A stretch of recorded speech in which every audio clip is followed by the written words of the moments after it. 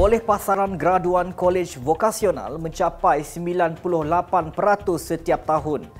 Menteri Pendidikan yang berhormat Fadlina Siddiq berkata, lebih 70% daripadanya mendapat kerja sebelum convocation. Ah, kebanggaan Kementerian Pendidikan Malaysia kepada graduan KV ini ah, kerana pertamanya mereka telah membuktikan ah, dari segi keboleh pasaran mereka di luar di industri sangat mengagumkan apabila berjaya mencapai lebih pada 98% ya maknanya kadar keboleh pasaran mereka begitu juga dengan keupayaan mereka menangkap ataupun memenuhi keperluan pasaran pendidikan terkini. Kementerian Pendidikan Malaysia juga sentiasa memberi tumpuan pada aspek baharu dalam sektor tertentu untuk dipenuhi.